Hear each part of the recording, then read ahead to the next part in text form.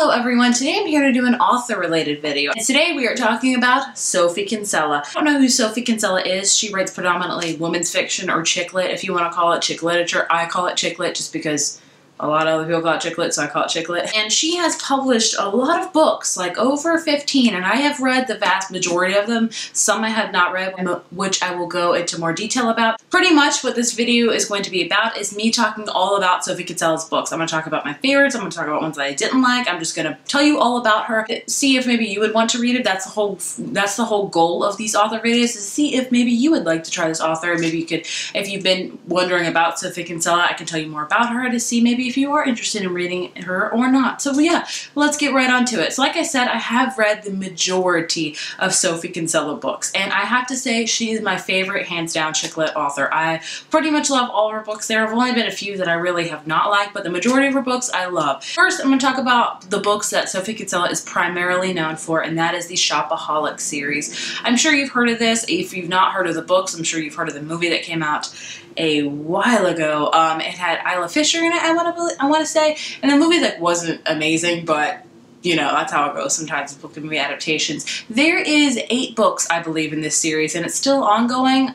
I don't know about that if it's still ongoing. I know the eighth book just came out literally last year or the year before, and that was Shopaholic to the Rescue. I've read the first three in these series. I've read Confessions of a Shopaholic, of course, Shopaholic Takes Manhattan, and Shopaholic Ties the Knot. I do really enjoy this series, and I'm not giving up on it completely, but it is eight books long, so it's just a lot to go on, and I feel like we kind of get the same sort of feeling with each of these. We have Becky Bloomwood, who is a shopaholic. That's what the whole premise is about. She buys too much much and she can't afford that. And it's all about her antics. And while she is a very enjoyable character and they are enjoyable and they are enjoyable books, I feel like eight's a little bit kind of too lengthy because I feel like it's kind of the same thing every book. But you know, there's different ones. I know there's Shopaholic and Baby, Shopaholic and Sister, all that kind of stuff. But it is an enjoyable series. I would recommend it. I do really like the first one.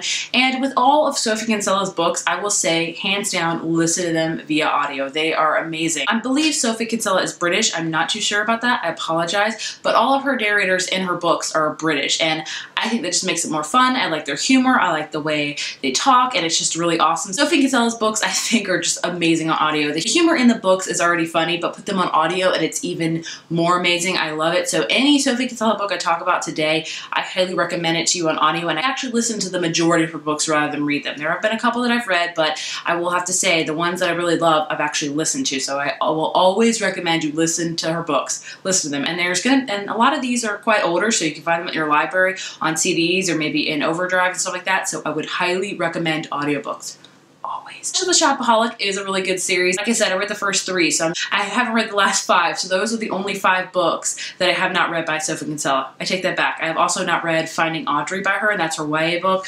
I might read that, I might not, I don't know. Anyway, let's go to the books I have read because that's what you're here for. Other than her eight Shopaholic books and her Finding Audrey book, she has written seven standalone novels that are of the chick lit variety, of the women's fiction variety, and I have read all of those. I'm going to tell you what my three favorites are of hers, and maybe I can coerce you into reading them, maybe not, but I'll just tell you why I love them so much. My favorite Sophie Kinsella novel, hands down, and I talk about this regularly, is I've Got Your Number. This is such an amazing book, and again, I listened to this book. I highly, highly recommend the audiobook. It is just amazing. This is all about a girl named Poppy, and Poppy has a good life. She's never felt luckier. She's about to marry her ideal man, and then all of a span in one afternoon, her life begins to fall apart because she loses her beautiful, luxurious, amazing engagement. Not only has she lost her engagement ring during a hotel fire drill, she also somehow managed to lose her phone as well. She's trying to find things, she's trying to get things, and she finally finds an abandoned phone in like the top of a trash can, so she quickly takes it and like, I'm just gonna use this until I can find my stolen phone. But then the phone's owner is a businessman named Sam, and he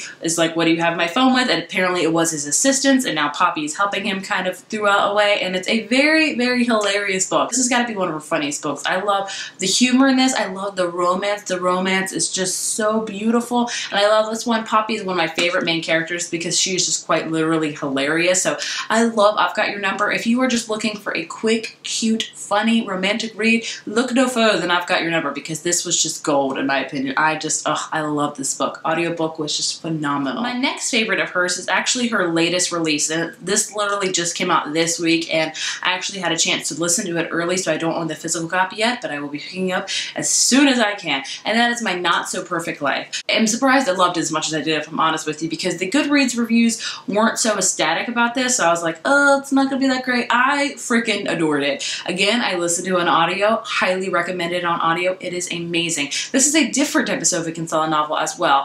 Um, this is all about a girl named Katie, or as she's trying to brand herself as Kat, and she's trying to make it in London. She's trying, she works at a branding agency, and she really looks up to her boss uh, and despises her boss, Demeter. Her, Demet her boss, she thinks, has the perfect life. She's got perfect hair, perfect wardrobe, perfect husband, perfect family. She goes to all these events. She just really is envious of her boss, and she just can't stand her. Actually moving up in the corporate world, she's maybe getting a few more opportunities with her job, and she's also starting to fall for this guy, and things are starting to be on the uplook for her because she's been struggling so much in her London life. Then all of a sudden, she gets fired out of nowhere by her boss Demeter. So she has to go back home in Somerset where her where her dad owns a farm and her dad is her dad and his girlfriend are trying this new business called glamping. I'm sure you've heard of it and they ask for her help so she helps them try to brand try to brand this glamping business and make it come to fruition and then when it gets successful who comes to stay at their glamping place? None other than her old boss Demeter, the one who fired her. So she's out to get revenge and she's gonna get it good. So that's what this whole premise of this book is about and it is amazing. Katie is one of the most realistic main characters I've ever read. She is very much struggling with her life. She is struggling to make it week to week with bills and things. She's struggling to try to find a place in her career. She's just really struggling to figure out who she is. This whole novel is about identity and how we perceive other people. Like I said, she's really envious of her boss Demeter and how she has this perfect life. And then when we learn that when Demeter comes to this glamping business that maybe her life isn't so perfect and maybe Katie is now seeing, you know, there's more to life than like what's on your Instagram because that's a very prevalent thing in this book. She has an Instagram and she puts up pictures that she wants her life to be like, not what it actually is. So this book has a little bit more depth and I'd say it's more focused on Katie and her coming to learn who she is and how her career is going to be more than romance. Don't get me wrong, the romance in this is beautiful and it is amazing, but that is not the forefront of this book and most of Sophie Kinsella novels. Not that there's anything wrong with that because I love a good romance. But I loved how this one was a little bit different. I love this book. Again, it was hilarious. The narrator for this audiobook was amazing and I recommend this book. It just came out, so I would highly recommend listening to it. I think even reading the physical copy would be great. I know I'm going to get it and I might reread it because I liked it so much. We'll have a full book review coming on it soon because I could gush about this forever because I just finished it. And my last favorite book by Sophie Kinsella is 20s Girls. I love this one. The narrative, the audiobook again was amazing. This is all about Laura and she's also having a hard time in her career and then she starts and then Laura has always had an over imaginative um, imagination and then one day she starts hearing and seeing her past her deceased great aunt Sadie. And her great aunt Sadie will not leave her alone until she figures out who stole her jewelry. Pretty much Laura is just trying to find her great aunt's um, necklace so her great aunt can leave her alone because obviously she's the only one who can see her because this is like a kind of a ghost story almost because she's seeing her great aunt that is deceased. I really love this book. It really focuses a lot on family and a lot of things like that. And the romance again was amazing in it. The only qualm I have with the narrator is that her great aunt would get a little bit shrilly, which made the narrator get really shrilly and like yelled a lot. And I was like, whoa. But overall, this is an amazing book. I highly recommend this one as well. This is, ah, I just loved it. I love how it was really focusing on family. More about, you know, how her great aunt and how she was in her 20s, how versus Laura is in her 20s. And again, an amazing book. So those are my three favorite Sophie Kinsella books. Now I'm going to talk about the rest of her books, which I do enjoy, but not as much as those three. I would say if you've watched this video and you've walked away thinking, I might want to read a Sophie Kinsella book, I would say pick any of those three, and I think you would be great. Honestly, I would say either I've Got Your Number or My Not So Perfect Life. Those are the two I would highly recommend. So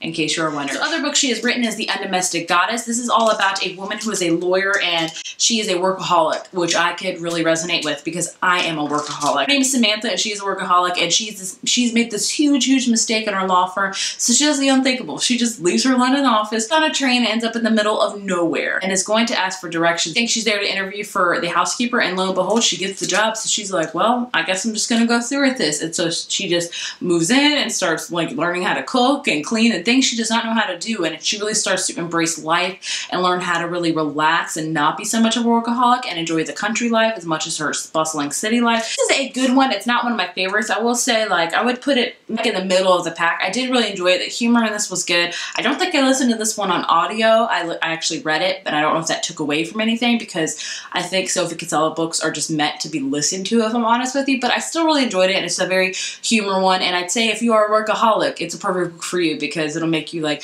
stop and relax, or at least hope to stop and relax because I still can't stop relax. the next book I want to talk about is Can You Keep a Secret? And I actually really did enjoy this one. So I would say those first three we talked about, put this one right after them if we want to like get really analytical and put them in order. This is all about a woman named Emma and she's on this plane ride and she is nervous to be on this plane ride. So she really just starts unloading all her secrets and everything to her, her plane companion, a perfectly good stranger. She's like, it'll be okay. She's told secrets like, let me read these.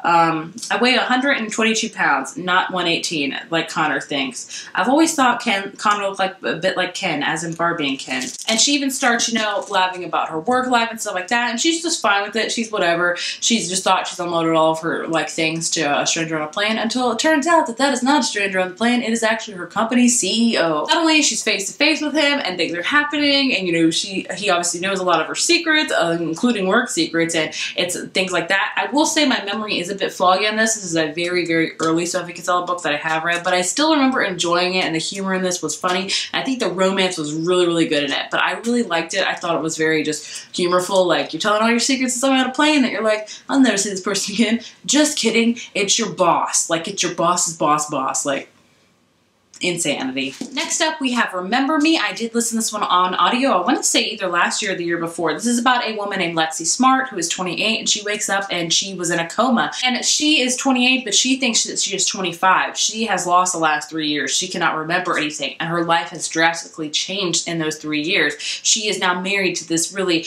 big headshot thing. She has this huge, amazing job. She lives in this sleek loft. She, her teeth are straighter. She looks much more better. She's like, how did I end up with this perfect life? Because she was having a really horrible life. She thought so when she was 25. So it's basically all about her piecing together the puzzle of what happened in those three years and how she became to have this so much success and how she's really changed as a person and how her friends are really not her friends anymore. And they really love this book. I found this to be one of my lesser favorite Sophie Kinsella novels. I didn't enjoy Lexi as main character. I was really having a hard time um, connecting with her and I didn't, I did like the mystery aspect, but I have read a lot of like um, Wake Up From a Coma and Your Life Has Changed, How to Figure Out type of books. And I didn't, I will say this is not one of my favorites, but if you're an avid Sophie Kinsella fan, it's definitely worth, worth a read. But if you're looking to get into Sophie Kinsella, I don't know if I would recommend this one right off the bat. And the last book I want to talk about is probably my least favorite, honestly, and that is Wedding Night. It's about a girl named Lottie who thinks or, things are going great in her life. She thinks her boyfriend's about to propose to her because they've been dating for a while, and then she's surprised when he just was like, let's go on a trip together. And so she's like, what the heck? And then she gets a call from a friend that she hasn't talked to in a while to remind her of the pact that they had that when they said that if they turned 30, if they still weren't married to anybody, they would marry each other. And so lo and behold, they go off to this Greek island and just get eloped and it's about that. Also follow up Lottie's older sister Fliss, who is married, has a kid and a job and trying to remind Lottie this is a horrible decision. The main thing I had, my main problem with this book was the two main characters. Lottie and Fliss were just both kind of unenjoyable. I really didn't like either of them. Lottie was kind of just carefree, it does whatever, which I don't like, which I don't mind, but I didn't really like Lottie. Fliss was very much more structured and by the rules, which again, I don't mind, but I just didn't like Fliss. I didn't feel like this book really flowed together well. So this is my least favorite Sophie Kinsella. It's not a horrible book by any means, but I just wanted a lot more from it. I didn't like the whole aspect of, you know, let's just go get married. We don't even know each other. Let's just do it. Like, because we had a pact. I don't know. I just didn't really enjoy it, honestly. So it's probably the one I'd say I would recommend the least. Anyway, that was basically telling you all about Sophie Kinsella's books. I hope this wasn't too long and lengthy and that you got something from it. If you are interested in reading Sophie Kinsella, like I said, I would recommend I've Got Your Number and also My Not So Perfect Life. Those two I would recommend. I would recommend listening to all of her books as well. If you have read any of Sophie Kinsella's books, please let me know which one was your favorite, which one was your least favorite, which one would you recommend, and things like that. If you want more author-focused videos, please let me know down in the comments which author author you like me to talk about. I would I would love to know and I would love to make them for you. If you like this video, be sure to give it a thumbs up and hit subscribe and I will see you in my next one. Bye.